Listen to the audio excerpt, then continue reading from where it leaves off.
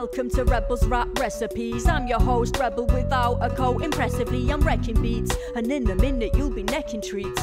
Let's see what we're making this week. A brekkie that's sweet and sure to grow my fan base. This week we're making vegan cheese and bacon pancakes. Plant based is how I make food for the soul, cause that's how all the true gangsters roll. Measurements for this one are gonna be rough. To be honest, I couldn't be bothered to look it up. First up, chuck in a couple of handfuls of oats, pour some vegan milk some of the oats might float. Peel a banana, maybe break it in two. Chuck it in the blender, you're doing amazing, dude. Maybe get a dash of cinnamon in there. Flavorless pancakes? Nah, man, I've been there. Even a little pinch of salt might help. Don't use too much if you want good health. You're about ready to blend this shit up. Blend that cunt like you don't give a fuck. Check the texture, that's what we're doing next, yeah. If it's too thick or too thin, you will get there.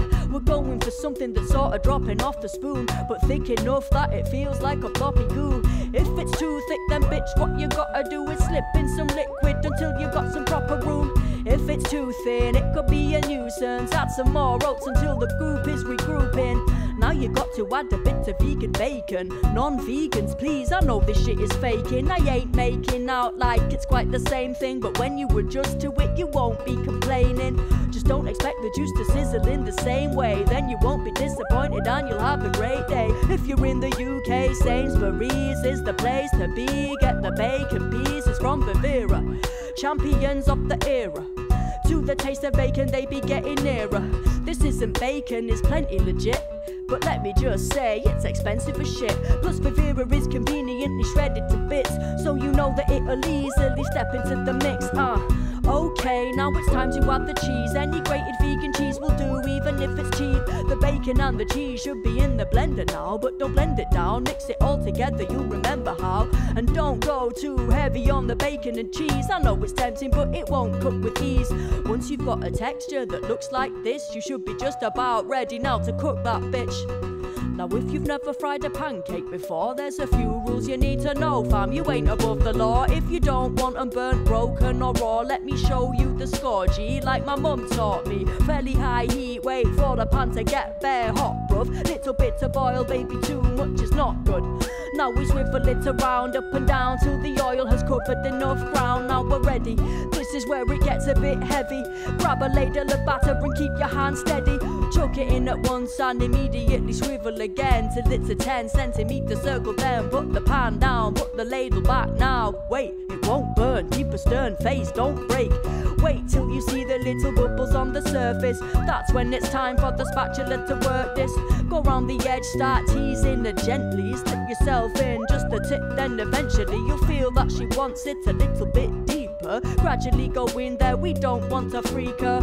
If the bit that you're slipping underneath is cooked, it'll feel firm to the touch and you can keep it up for a sec. If it's too raw and wet, then it will surely get broken apart, so don't force it yet.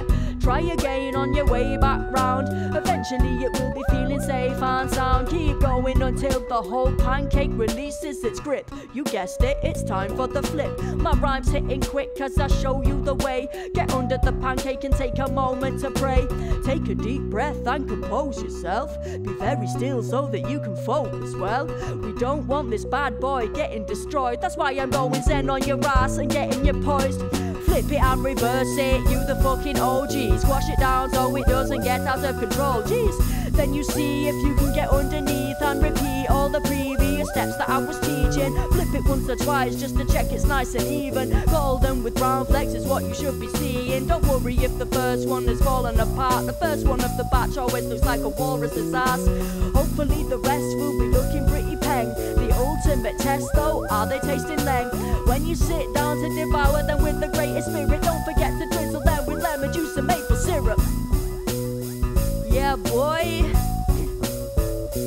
some tasty ass shit up in this bitch, you get me? Woo!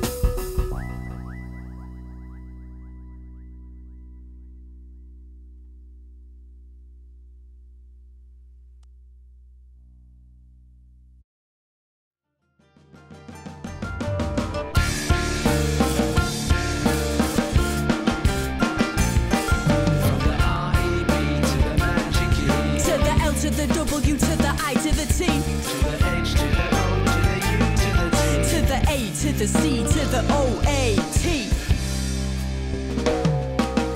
R is for rapidly running round the ruins of a broken brain strewn with strange things